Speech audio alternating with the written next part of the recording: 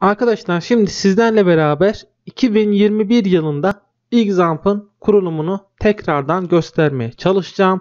Bu biraz daha güncel video olacaktır. İsterseniz hemen videomuza başlayalım. Öncelikle tarayıcımıza Examp diye yazıyoruz ve karşımıza çıkan siteye tıklıyoruz. Bu arada şunu da söylemek istiyorum. Arkadaşlar e, yaklaşık 2-3 yıldır Udemy'de ve YouTube'da eğitim vermeye devam ediyorum. Birçok arkadaşımız bazen hemen hızlı atladıkları için bazen beni dinlemeden birkaç hamle yaptıkları için ileride çok fazla sıkıntılarla karşılaşıyorlar. Şimdi sizlerden isteğim şu şekilde lütfen videoyu kesinlikle atlatmayın. Dikkatli bir şekilde dinleyin. Yapmış olduğum bütün işlemleri sizler de birebir aynısını yapın. Ve aynı şekilde ilerleyin. Ya da ise sıkıntı yaşayabiliyorsunuz. İleride çok fazla başınız ağrıyabiliyor. O yüzden tavsiyem lütfen dikkatli bir şekilde bu videoyu izleyin. Yapılan hamleleri birebir yapın. Birinci uyarı olarak ben şunu yapmak istiyorum. Eğer bilgisayarınızda şu an Observer, WAMP Server ya da Examp'ın başka bir sürümleri olursa bunları hemen anlık kaldırın. Hepsini silin arkadaşlar. Hepsini sildikten sonra buradan Windows yazıyor. Ben bunu seçiyorum. Eğer sizin işletim sistemleriniz farklıysa bunlardan birini de seçebilirsiniz. Buradan Windows seçtikten sonra direkt anlık olarak zaten indirecektir. Hemen seçip Enter dediğim zaman bakın şu an indirmeye başladı bile benim için. Bunu ben yere LX D klasörüne yükleyeceğim. Burada examp diye. Sizler C'ye de yükleyebilirsiniz ama e, C'de zaten çok fazla sistem dosyaları olduğu için ben D'ye yüklemeyi e, seçiyorum. Artık bu sizin bileceğiniz iş. Şu an dosyamız indire dursun arkadaşlar. İndirdikten sonra da hemen hızlı bir şekilde bunu kurmaya başlarız. Ben şu an için videomu durduruyorum. Tam anlamıyla indirdiğinde tekrardan videomuza geçeriz. İndirilen dosyamızın üstüne tıkladığımız zaman bu şekilde bu uyarı gelir. Buradan OK diyerek artık işlemlerimize başlayabiliyoruz. Burada e, Examp'ın kurulumuna hoş geldiniz diyor. Hoş bulduk diyerek devam ediyoruz. Burada kutucuklar var. Lütfen bunların hepsinin seçili olmasına dikkat edin. Bakın mesela bir tanesinde böyle seçili değilse bu sizin için sıkıntı olabilir. O yüzden hepsinin seçi, seçili olmasına dikkat edin. İleri diyorum tekrardan. Bana kuracağım yeri söylüyor. Ben D klasörünün içerisine yani D'ye yüklesin, yüklemesini söylüyorum. Yani hani bilgisayarı kurduğunuz zaman bir yere LDX A, C ve D'ler olur ya bazılarınızda belki A olmayabilir. Arkadaşlar C'de genellikle sistem dosyaları olduğu için ben D'ye kuracağım. Siz eğer C'ye kurmak isterseniz buraya gelip C'de yazabilirsiniz. Fark etmez. İleri diyorum. Tekrardan devam edelim. Dilini İngilizce seçelim. Devam et diyorum. Burada eğer bilgi almak isterseniz bu kutucuğa tıklayın. Ben bilgi almak istemediğim için tekrardan devam ediyorum. Son aşamaya geliyoruz. Artık kurulumuna buradan itibaren başlayacaktır. Şu ana kadar olan kısımlar biraz daha e, en basit kısımlardı. İleri ileri ileri diyorduk. Ama şu andan sonra yapacağımız işlem oldukça önemli arkadaşlar. O yüzden lütfen e, bu kısmı dikkatli bir şekilde dinleyin. Ben şu an bunun doğmasını videoda beklemeyeceğim. Videonun süresi çok fazla uzun olmasın diye.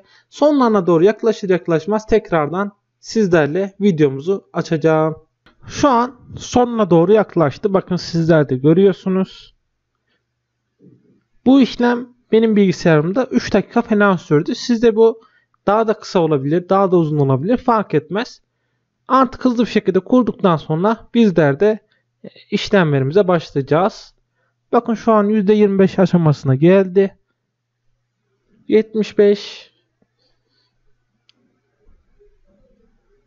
ve şu an tamamlanmak üzere. Şu an arkadaşlar kurulum tamamlandı. Şimdi asıl önemli yer bundan sonra başlayacak. Niçin hocam? Şimdi arkadaşlar bundan sonra kısım bizim temel ayarlarımızı yapmış olduğumuz kısım.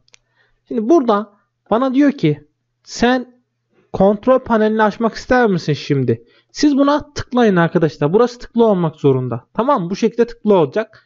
Devam et diyorum. Şimdi hemen bana kontrol panelini açıyor. Şimdi kontrol panelinde şöyle büyüteyim. Ya da büyük pek bir havası yok. Şöyle küçük yapalım. Fark etmez. Şimdi burada bizim iki tane değere ihtiyacımız var. Birincisi Apache, diğeri de MySQL. Arkadaşlar bu ikisi bizim için oldukça önemli. Yapmamız gereken işlem buradan ikisine start demek. İkisine de şu an start dedim. Eğer sizde benim gördüğüm gibi yeşil bir arka plan görüyorsanız yani şu iki değer yeşilse sıkıntı yapmayın başarılı bir şekilde oluştu.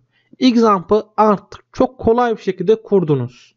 Kullanmaya başlayabiliriz. Ama eğer sizde bu değerlerden bir tanesi bile kırmızıysa işte o zaman bazı hatalar almışız demektir. Şimdi sizlerle beraber bu hataların çözümünü göstereceğim. Bu arada Kur'an arkadaşlarımız kesinlikle ve kesinlikle atlamayın çünkü ileride yine çok önemli bir nokta bulunmakta. Şimdi bunları kurduk. Eğer ola ki bir hata aldıysak ne yapmamız gerekiyor? Arkadaşlar hata aldıysanız ikisini birden durdurun. Şu an ikisi birden durdu. Burada config dosyamız var. Gördünüz mü? Buna sağ tıklayın. Ve ilkine tıklıyoruz buradan da. Şöyle bir not belgesi açılıyor. Hocam bu ne?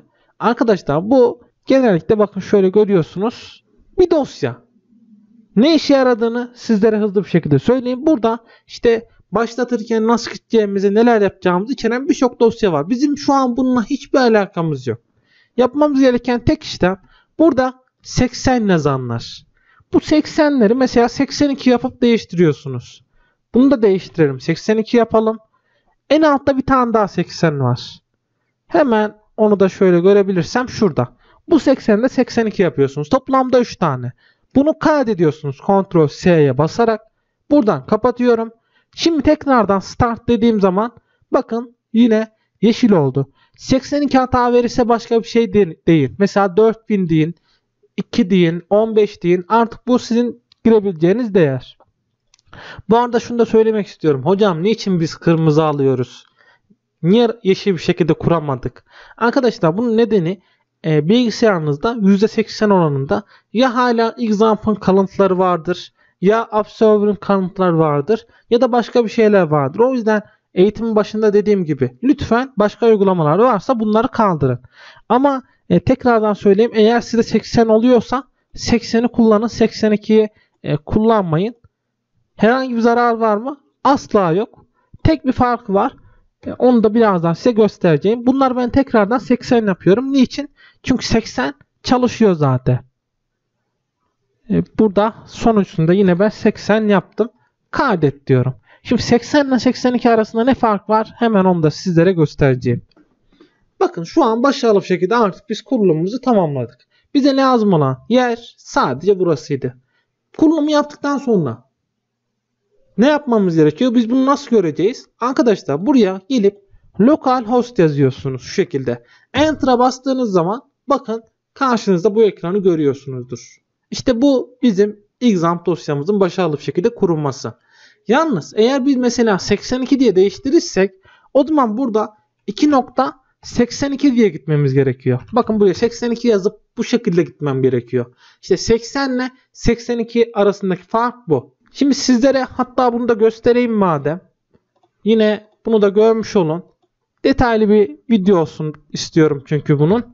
Bunu 82 yapıyorum. Bunu da 82 yaptım. En alttakini de 82 yaptığım zaman bakın nerede o videomuz? Burada. Bunu da gelip ben 82 yaparsam ve kaydedersem şimdi bunu tekrardan başlatıyorum. Şimdi 82 çalışacaktır. Localhost 2.82 yazdık ya bu çalışıyor. 82 yazdığımız zaman sadece localhost yazarsak da bu sefer çalışmayacaktır. Bakın şu an açıyorum. Yükleniyor. Gördünüz mü? Bu sefer burası çalışmıyor. Yani 80 yazarsanız direkt localhost diye gidiyorsunuz. 80 haricinde bir şey yazarsanız da localhost 2 nokta diyerek devam ediyorsunuz. Ben tekrardan son kez bunları 80 diyerek çevireyim arkadaşlar.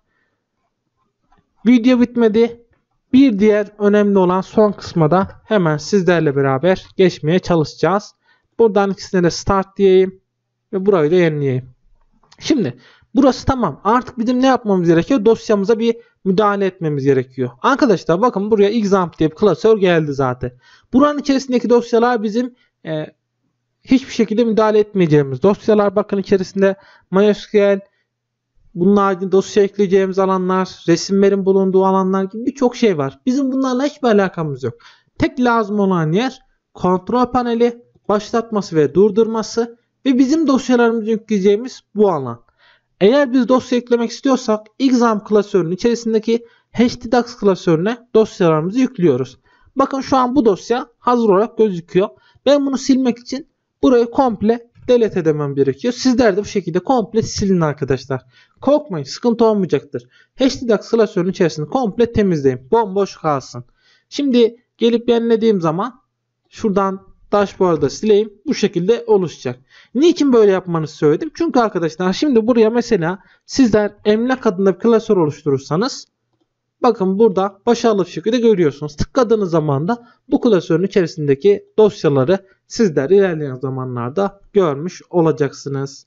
Dosyalarımızı HTTP klasörüne ekliyoruz ve artık videoyu bitireceğim son kısma da geçiyorum. Bunu anlattıktan sonra videomuz bitecek. Çok önemli bir madde daha söylüyorum. Lütfen bunu aklınızın bir kenarına yazın arkadaşlar. Şimdi bizler eğer AppServer ya da WebServer kullanıyorsak bilgisayarı kapatıp açtığımızda tekrardan localhost yazıp kullanmaya devam edebiliriz.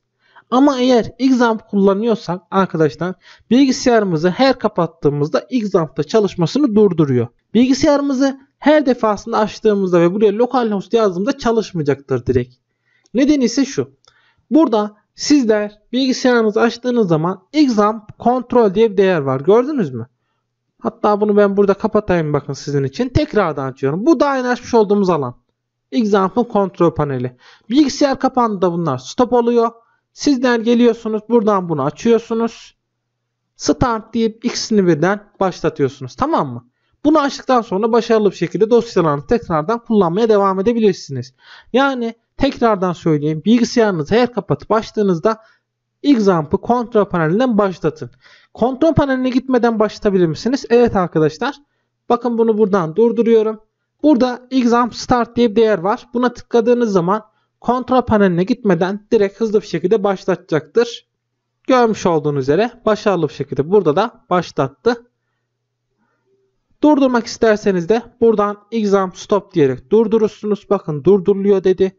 Gelip yenilediğiniz zaman da şu an çalışmaması gerekiyor. Daha durdurmamış herhalde. Aynen şu an durdurdu. Gördünüz mü arkadaşlar? İşte yapmanız gereken kısım var. Sadece bu kadar. Umarım bu video sizler için oldukça yararlı olmuştur. Ben bu videomu bu kadar tutacağım. Aklında takılan sorular olursa yine yorumlarda sorabilirsiniz. Elimden geldiğince hızlı bir şekilde cevaplamaya çalışırım. Bu videomuz da bu kadardı. Bir sonraki videomuzda tekrardan görüşmek üzere.